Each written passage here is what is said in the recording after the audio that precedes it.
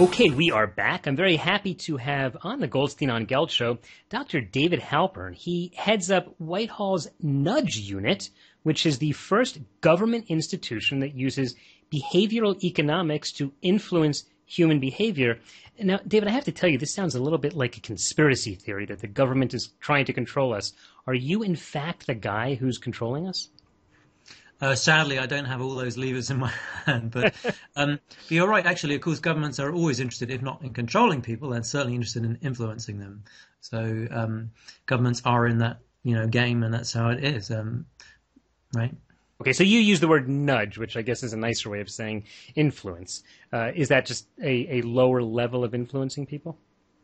Well, governments have long used certain kinds of tools. Notably, they use legislation and laws, and they hope that passing a law will somehow influence people's behavior.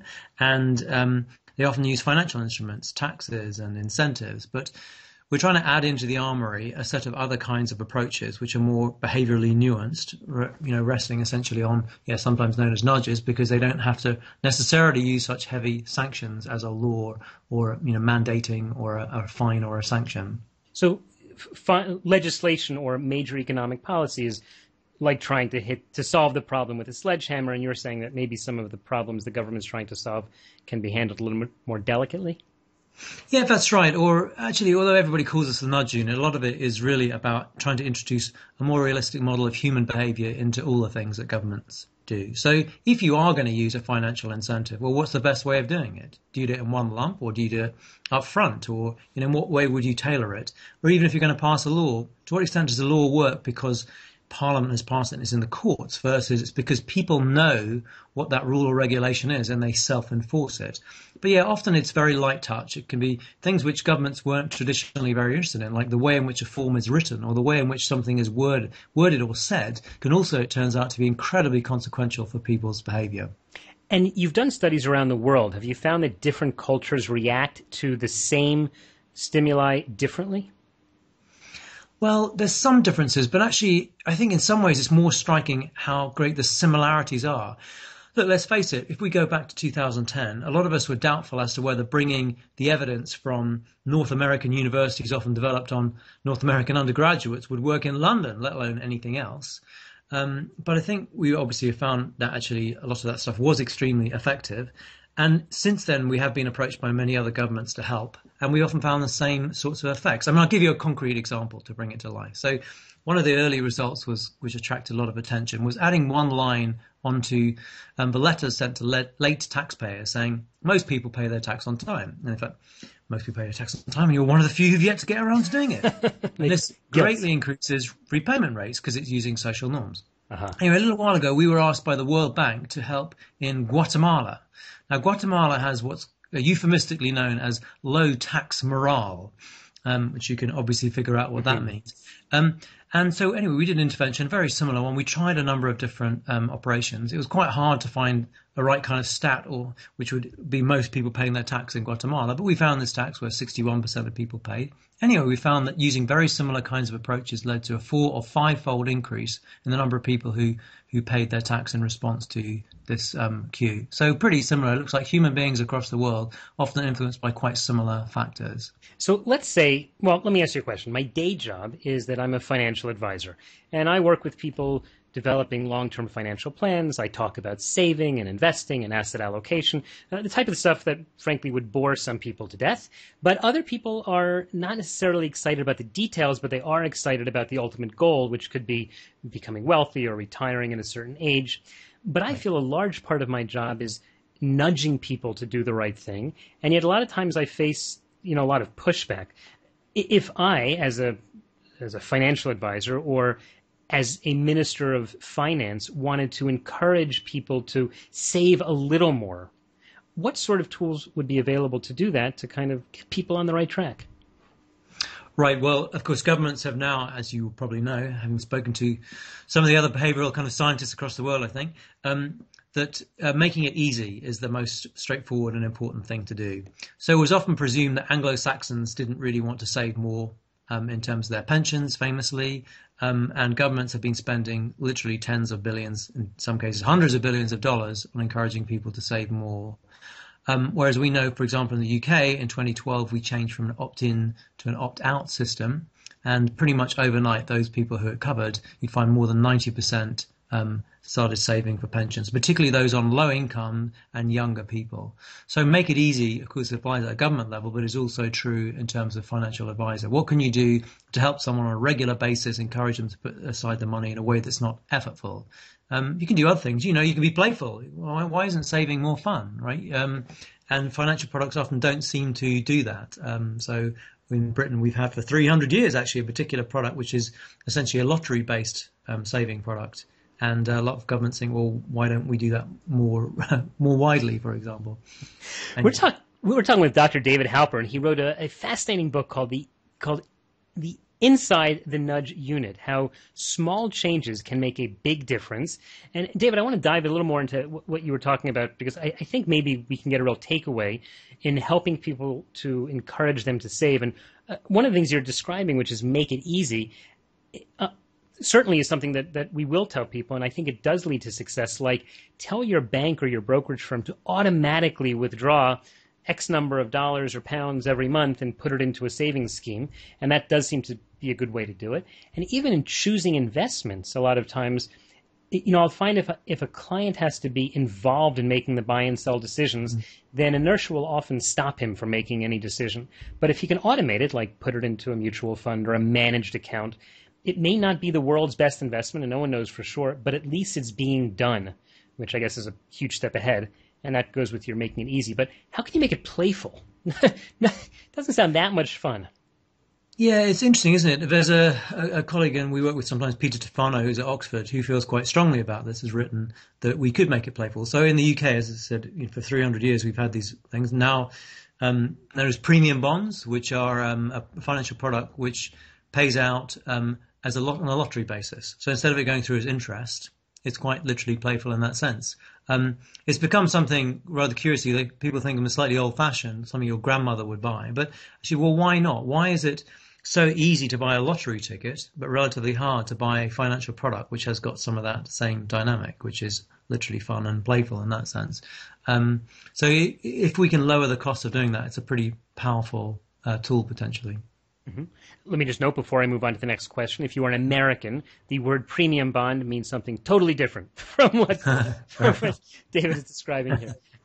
You've also done research about charity, and I, have read some of the really the fascinating ideas that you've come up with.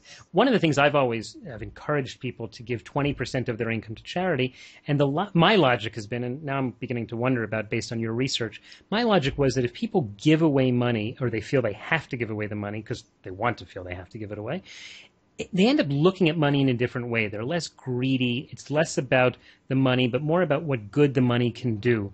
What tools have you found that can help to encourage a society to become more charitable? Yes, well, the Prime Minister was very interested in that. Um, by the way, before we get into the detail, it's worth noting, as you might know, Liz Dunn's work from Canada, which shows very powerfully that giving away money is one of the best things you can do to make yourself really happy and satisfied, and that mm-hmm. people systematically underestimate that um, that how positive they feel about it. It's a very powerful and interesting result, which has been seen across more than 100 countries now, very well demonstrated. So, um, so that's against that kind of positive background. Well, why don't people give more and so on? Um, and what can you do again to make it easy? So we have done, you're right, a number of interventions. Some of them have been very playful. So we did a, a, a trial trying to get investment bankers to give a day of their salary to charity and good causes, which, by the way, turns out to be quite a lot of money. anyway. Um, so just asking them and having the CEO send you an email and get a leaflet and so on leads to about 5% of people giving a day of their salary. Um, adding some volunteers into the mix and so on doesn't really make much difference. On the other hand, when you give them the leaflet, if you include with it a little tiny tub of sweets, it more than doubles the proportion of these investment bankers who give a day of their salary. Wow. In fact, more recently we found even more powerfully, so that takes you from 5 to sort of 12% plus, if you get a requ- um, an, an, email from someone you know in the firm who says why they give to this charity and encourages you to think and, and talk to others about it and the impact it can have, that increases levels of giving by about sevenfold up to more than 30%, 30% plus giving. That's, that's because there's some sort of social acceptance, you mean? Yeah, it's a social nudge. We're very influenced by what, but also someone that you know. Um, I mean, other ways of doing it. There was interest a campaign run actually about um, encouraging people to give in terms of their wills, bequests. It wasn't twenty percent in your number, but it was at least ten percent. And you could sort of feel the wheels of the treasury turning. How big a tax subsidy would we have to give to make those numbers move? Pretty scary. So we thought, well, while they're trying to figure that out, why don't we look at what's a timely intervention? Well, who writes wills? Lawyers. Why don't we do a trial with some lawyers who are a very big firm who write a lot of wills? So can we just, you know, look at your script and just suggest the insertion of a question along the lines of, you know, are there any charities or causes that you're really passionate about? Many people, you know, do choose to give. Anyway, this leads to a threefold increase in the number of people who then add a bequest in their will and a doubling in the size of that bequest. So a sixfold increase in the level of giving, just wow, asking at the right time. amazing. Interesting what you said about gifts, which is it sort of touched on me. You said to give a to give away a, some sweets. My neighbor did some renovations, and it was for months. They were banging and drilling, and it was terribly, terribly annoying. And then, as they were finishing up, their their uh, contractor, the, the guy who was in charge of it, came and delivered a beautiful plant to all the neighbors around. The plant probably cost about twenty dollars, and and I felt much much better towards them after months of suffering. I mean, this was not a little thing, and I think that the, the concept is that it's not that you need to necessarily pay someone an equivalent amount, but you need to show some sort of honor or respect, which can get people to come over to your side. Is, is that kind of the feeling? That's right. Um, so, in fact, you touch on kind of a very deep and important idea. So, on the one hand, you can use these sort of nudge approaches for make a change to a letter or something, but actually, it also can give you profound insights about how you know what makes human beings tick. Um, so much of our lives and the and the economy and society is, in fact, driven by exactly the dynamic you described. Sometimes known, in fact, by the Israeli economic historian Avner Offer as um, the, the the economy of regard which are transactions which are not necessarily of economic value and they can be spaced in time. But that is what makes a lot of the world operate. And in fact, if you monetize the value of looking after our kids and doing all these other things, it's normally more than GDP per capita. It often, in fact, drives the real economy. Um, as well as um, is so consequential for your well-being. So yes, of course, what your neighbour did is they're giving an act of reciprocity. It gets your oxytocin, by the way, flowing. You feel good when someone reciprocates um, uh, in that kind of way. And also in um, Danny Kahneman's famous early work, it also is a recency effect. So we, we don't remember the past very clearly, but we do remember the most recent thing that happened. So it's surprising how that last act will blot out much of the intervening pain. Right. So we will leave off our discussion on that last idea so that people will remember that they should give gifts to their friends or enemies and maybe solve that problem. David, we are just about out of time, but in the last few seconds, tell us how can people follow you, follow your work, and get a copy of your fabulous book? Well, I hope the book is available more widely. It's certainly available in the UK now. Um, uh, on the Behavioral Insights team site, we put a lot of our results out and we try and share them for the world. We do think, my, my own view, and just concluding comment, as governments and more and more governments across the world, including in Israel and elsewhere, look at these approaches, it's really important, I think, that, that we be very open about these behavioral approaches and the experimental sort of style that they bring as well.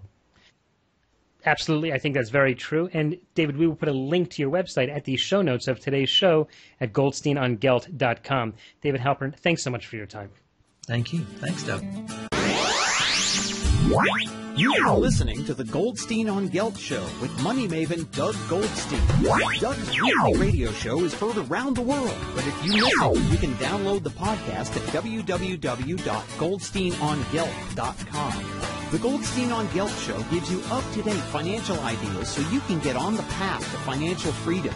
If you'd like your questions answered on the air or off, send Doug an email to doug at profile-financial.com. It's your money for your future, so join Doug every week to build your wealth on the Goldstein on Show.